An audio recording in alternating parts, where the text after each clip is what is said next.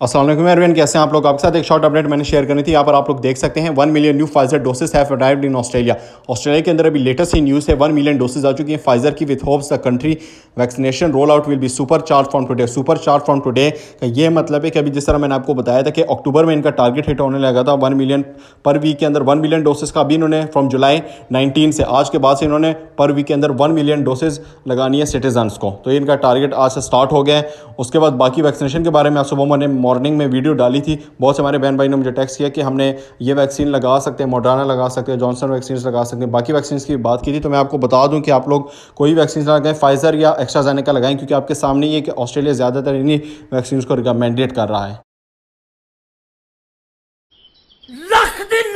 तेरे मुँह